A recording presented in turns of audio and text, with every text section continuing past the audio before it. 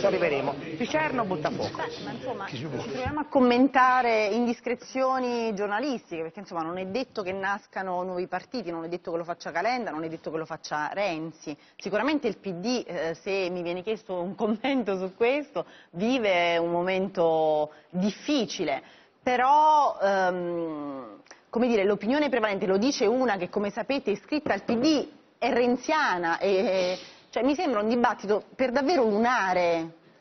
Perché allora, quando Renzi eh, partecipa alla vita interna del PD, tutti quanti in coro gli spiegano che deve starsene in disparte perché è ingombrante. Se se ne sta in disparte i candidati si ritirano, mi sembra un dibattito lunare. Io vorrei allora, faccio una domanda pratica da donna. Non ho Eh, capito le faccio una domanda pratica, Sì. mi Renzi appunto, ha ragione lei, tutte queste Renzi sembra fa, un fa. dibattito Facciamo una domanda pratica.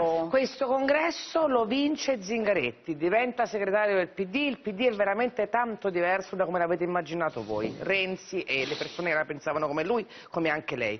Che fate? Rimanete dentro e rispettate Zingaretti come si fa nei partiti di una volta o avete la tentazione forte di creare un altro contenitore diverso? Guardi, io diciamo, per cultura politica, per formazione, io questo partito ho contribuito a crearlo. Certamente anche, ed ero una ragazzina, ero piccolina, era ai tempi appunto di Veltroni, quando l'abbiamo fatto nascere noi abbiamo ma- immaginato un PD diverso. Ecco, da quello che, che è diventato certamente. Era un PD inclusivo, un, un PD, un partito capace anche per il momento storico che è evidentemente cambiato, perché là Certo. c'era un sistema eh, bipolare sostanzialmente, ora quel sistema bipolare non c'è più, ma insomma era una condizione storica completamente diversa. Poi la mia opinione personale, dicevo, per formazione, per cultura politica, è dare battaglia all'interno. Certamente Zingaretti è eh, culturalmente distante per molti Insomma, lei non va aspetti. via. Ma guardi, io intanto penso che nessuno vada via, Ne- Ok, io credo allora. che ci si supererà, è un momento sicuramente difficile,